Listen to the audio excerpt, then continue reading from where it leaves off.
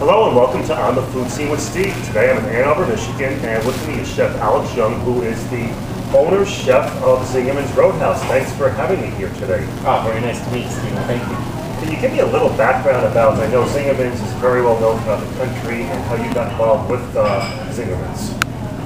Well, it was my dream to open a restaurant in Ann Arbor, and decided uh, that's what I was going to do. A friend had told me about Paul and Ari, the founders of Zingerman's, and um, I introduced myself to them on the phone and said about building a relationship with them.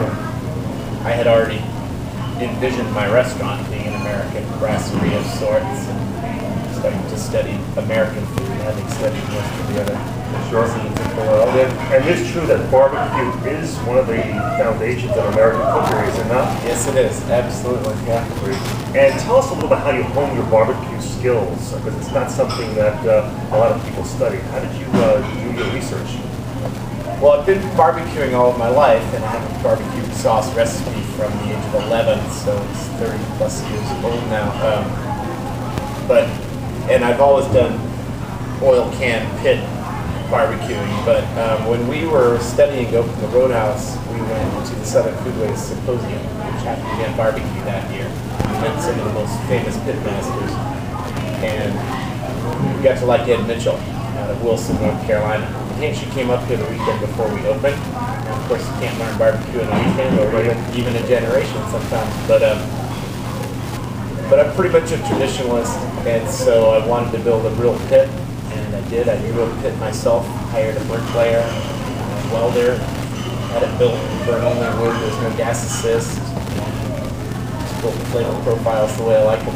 Well, Yeah, I saw the pit out there. It's a huge, huge barbecue pit. Yeah. And what would you say your specialty is here, or is everything your specialty? No, it's got to be the whole hog, because we do Eastern Carolina whole hog. And you actually pick the farmers that you're using to provide you with the, uh, the meat. Took me a few years to get it good. We've always bought Niman Ranch meats, which are fantastic. Um, but after a few years of trying, I was able to get uh, farmers here in Michigan to deliver hogs directly to us. Great. We also grow a lot of our own hogs as well. Yeah, you mentioned that earlier today that you have a, a farm where you grow your heirloom tomatoes and Yeah. other vegetables. Tell us a little about that. Well, we grow heirloom tomatoes in, in quantity. We grow heirloom red peppers for fire roasting in quantity, and we also do some meats. So we do a number of hogs and some steer, sheep. It's a lot of fun. And is it something that people are uh, intrigued about that the middle here in Ann Arbor, Michigan, they have a wonderful barbecue restaurant? Is that something that is uh, unique to these people in Ann Arbor, Michigan? There's some okay barbecue in the area, and so people are familiar with barbecue, uh, but certainly you might not think to find it in college town in southeastern Michigan. Well, if you're ever in Ann Arbor, Michigan, definitely need to make one of the stops of yours at the uh, Zingerman's Roadhouse. And I want to thank uh, Chef Alex for uh, speaking with us today for On the Food Scene with Steve, with Alex Young at the Zingerman Roadhouse in Ann Arbor, Michigan. I'm Stephen Fries.